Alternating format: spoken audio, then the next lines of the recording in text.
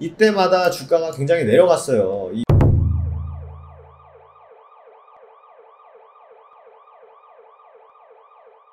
네, 반갑습니다. 허브경제TV입니다. 이번 시간에 같이 볼 종목은요, 대한전선 한번 보도록 하겠습니다. 일단 뭐 대한전선이 오늘 뭐 시장 영향이었죠. 사실 시장 영향에 따라서 이제 반등을 같이 해주는 모습이었는데 최근에 약간은 좀 시장이 올라가면 또 같이 올라가 줬다가 빠지면 같이 빠지는 왜냐면 아무래도 기관 외국인들의 수급에 들락날락하는 종목이다 보니까 시장이 올라간다는 것 자체가 기관 외국인들의 수급이 들어오고 시장이 빠진다는 것 자체가 기관 외국인들의 수급이 이탈한다라는 것이기 때문에 어, 대한전선 역시 시장이랑 좀 동조화되는 흐름을 또 보이고 있다라고 어, 이해해 주시면 될 것 같습니다. 어쨌든 지금 뭐 풍력 발전에 대한 이슈들이 나오죠. 슬슬 나오긴 하는데 시장에서는 그렇게 부각을 받지 못하고 있는 모습이에요. 아무래도 바이오 쪽이 강합니다. 바이오 쪽이 강하고 어, 전선 쪽 그러니까 전선 업계의 1위 점유율이 제가 말씀드렸던 LS 전선이 1위고 그 다음에 따라오는 게 이제 대한 전선이다.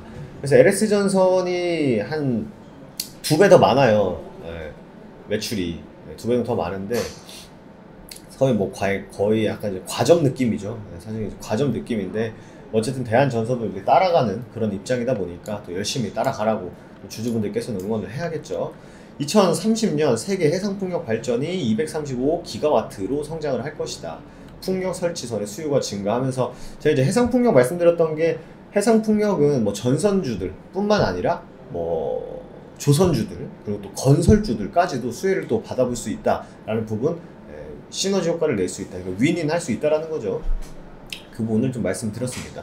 2040년에는 2배, 2050년에는 4배 로 성장을 할 수 있다. 그러면서 뭐 대우조선이라든지 뭐 삼성중공업 등 수주 기대감을 늘릴 수 있다라고 이제 얘기들이 나오고 있습니다. 근데 어쨌든 뭐 이게 많이 진행이 되면 될수록 사실 이제 어, 육지와 예, 또 바다와의 또 이제 에너지 전선을 연결하는 또 어, 해적 케이블 엄청 두껍다고 말씀드렸었죠. 예, 우리가 생각하는 일반 구리선이 아니다. 라고 말씀드렸는데 어, 유럽과 아시아가 전 세계 해상풍력 발전 주요 시장으로 꼽힌다. 영국, 독일, 중국, 덴마크, 벨기에 뭐 이렇게 나오는데 어, 지금 보면은 지금 뭐 덴마크, 벨기에, 뭐 독일, 영국 보면 중국 보면은 아, 어느 정도 어, 느낌이 좀 다르죠. 아, 느낌이라기보다 이제 바다가 어느 정도 있는 그런 국가죠. 독일은 이제 위로 있죠. 함부르크 쪽으로 있고 벨기에도 어, 유럽에 영국 여기가 영국이죠. 영국이면은 어, 네덜란드, 벨기에 이제 이렇게 또 바다랑 또 있는 걸로 알고 있습니다. 벨기에 갔다 왔거든요. 다 갔다 가봤어요. 중국 빼고. 어쨌든 네, 그래서 어쨌든 이제 해상 풍력에 대해서 이제 신재생 에너지 뭐 이런 부분에 대해서는 꾸준히 성장할 수 있는 부분은 우리가 어, 다 알고 있고 뭐 우리가 또 몰랐던 내용은 사실 아니다 보니까 어, 지금 우리가 과거에 아, 과거라고 하면 너무 멀고 최근에 계속 이 은행의 물량이 계속적으로 이제 쏟아져 나오고 있는데 좀 멈춰졌습니다. 멈춰졌는데 제가 이제 오늘 기준으로 조금 보니까 지금 이 대한전선의 총 그 수량 상장 수량이 한 8억 주 정도 돼요. 8억 주. 근데 여기서 40%가 대주주거든요. 그럼 한 3.4억 주가 대주주예요. 그럼 남은 거는 얼마입니까? 3.4 빼면은 4.6 되죠. 4.6인데 또 우리 사주에서 800만 주 빼면은 한 3.9 정도 됩니다. 그러니까 실질적으로 유통되고 있는 주식을 보면은 5억 정도 돼요. 5억 정도. 5억 정도인데 여기서 이제 뺄 거 빼고 최대 뭐뺄 거 빼고 하면은 한 3.9주 정도 예, 돌아가는데 여기에서 이제 한 5, 아, 5억 주 기준으로 보는 게 맞는 것 같네요. 5억 주 정도로 보면은 근데 여기 기존 채권단이 14% 정도 갖고 있었죠. 예. 그래서 14% 정도 보면은 1억 2천만 주. 1억 2천만 주인데 은행이 오늘까지 기준으로 보면은 한 4천만 주 던졌습니다. 그러면 결국 남은 게 한 7천만 주 정도 나와요. 7천만 주. 예. 이제 제가 조금 계산은 틀릴 수 있는데 대략 이 정도 됩니다. 그러면 한 9에서 10% 정도 돼요. 한 9% 정도 되겠죠. 전체 물량을 8억 주라고 보면 9% 정도 남아 있어요. 7천만 주. 그러니까 이것들이 좀 더 나올지 안 나올지는 뭐 가봐야 되겠습니다만 뭐 얘네들이 결과적으로 자기네들이 직접 매도를 하겠다. 예, 넘겨받는 거를 뭐 어느 정도 좀 불발됐기 때문에 자기네들이 알아서 처리하겠다라는 거기 때문에 한 지금 현재로서 한 7천만 주 정도 남았다. 이것도 보는 게 맞는 것 같습니다. 그래서 최근에 뭐 200만 주 한 번에 툭툭 튀어나오고 찔찔찔찔 던진데 사실 걔네들이 계속 던졌죠. 엄청나게 던지고 네, 던지고 했었는데 이때마다 주가가 굉장히 내려갔어요. 이 매도 매도 압박이 있다 보니까. 근데 어 사실 대한전선 같은 경우는 유동성이 충분하거든요, 사실. 네, 유동성 제고를 위해서 공매도를 뭐 시장 조성자들이 뭐 호가를 채워 네, 좀 말 같지도 않은 소리는 어, 대한전선에는 맞지는 않습니다. 대한전선에 맞지는 않고 뭐 추가적으로 뭐 음? 공매도 수량도 수량이 많은 걸 뿐이지 매매 비중 자체는 그렇게 크지 않다라는 부분을 말씀을 드렸었죠. 그러다 보니까 굳이 이제 뭔가 이렇게 리스크다, 아, 리스키하게 이제 받아들여질 수 있다라는 부분은 그렇게 많지 않아요 지금. 만약에 뭐 은행이 뜬금없이 막 폭탄 물량 던진다 그러면 얘기가 달라지겠습니다만 지금처럼 은행이 좀 잠잠한 거 보면은 이들도 약간 좀 어? 그래도 어차피 파는 거 조금 어?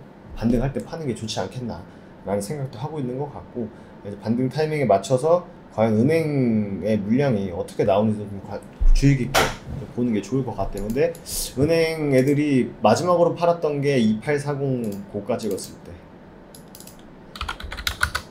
네, 여기가 이날이었거든요.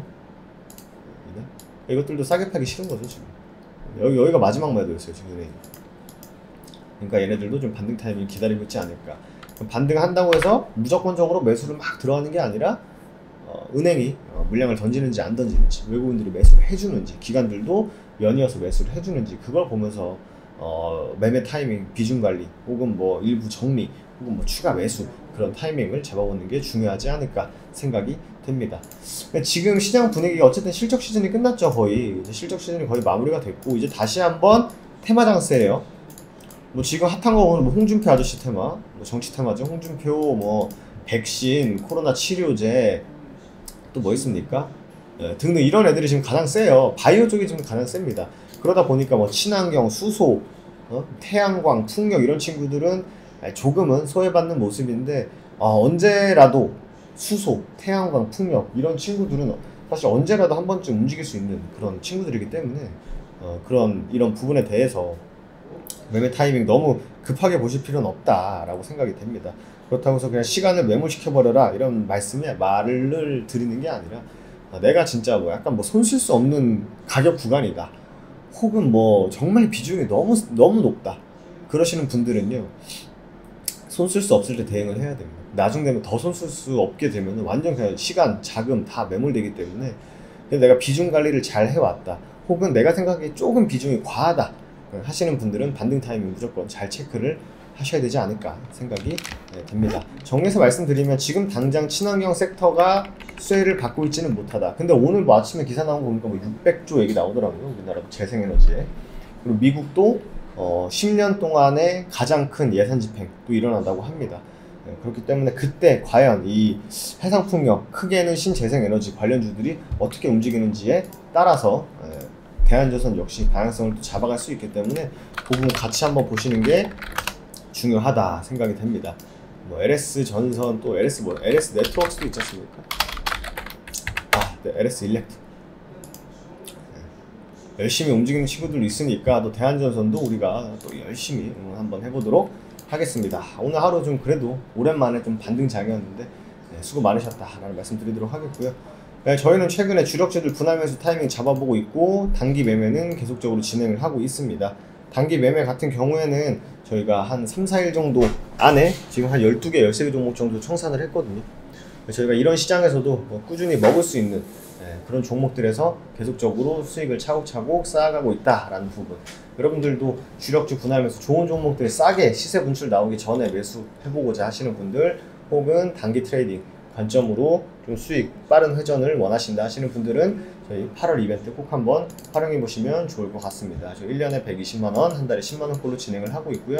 특별히 이번 8월 안으로 이벤트 활용하셔가지고 가입하시는 분들에게는 방송반 5일 동안 체험 기회를 또 드리고 있습니다. 그래서 좀 파격적인 이벤트 진행하고 있으니까 시장도 어렵고 여러분들에게 좀 도움이 될 수 있는 부분도 많이 생각하고 있습니다. 그래서 1644-1873 회사로 전화 주셔도 좋고요. 카카오톡 친구 추가 HBTV 천사로 친구 추가하신 다음에 상담문에 남겨주시면 저희 관리 팀장님께서 친절하게 상담해 주실 겁니다. 그래서 이벤트 한번 문의 주시고요. 저는 또 다음 시간에 인사드리도록 하겠습니다. 감사합니다.